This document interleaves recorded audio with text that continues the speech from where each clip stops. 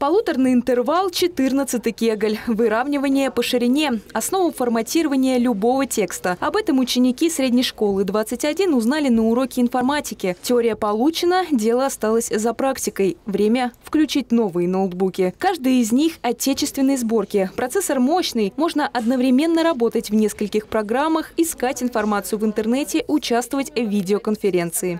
Что можно отметить, это количество портов э, в ноутбуках, потому что в современных зарубежных э, э, ноутбуках у них ограниченное количество портов и приходится использовать дополнительные устройства. В наших ноутбуках этого нет, мы работаем без проблем, нас устраивает. Устраивает и новая образовательная платформа «Сферум». В ней ребята занимаются онлайн, видят обновления в расписании уроков, общаются в чате. В отличие от зарубежного Zoom, время пользования не ограничено. До 2024 года доступ к программе будет у всех педагогов и учеников России.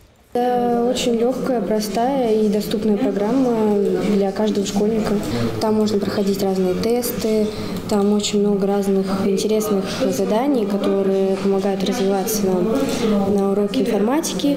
Помимо этого, дети делают презентации, составляют свои первые таблицы. Инструменты для этого есть в новом российском офисном пакете. Он заменил американского предшественника. Дети разницы не почувствовали. Пользоваться удобно, оформление простое. Пока программа работает на иностранном компьютерном обеспечении, а в ближайшие два года все учебные компьютеры переведут на отечественный аналог. В прошлом году подписано соглашение между Ульяновской областью и разработчиками отечественного офисного пакета R7 Office.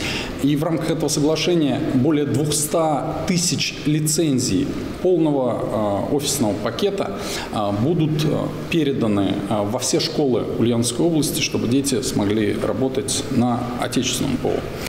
Обновить компьютеры помог федеральный проект «Цифровая образовательная среда». К 2024 году по нему планируют купить многофункциональные установки, принтеры, сканеры. Все они российской сборки. Один из примеров – «Катюша». Сейчас МФУ тестируют специалисты.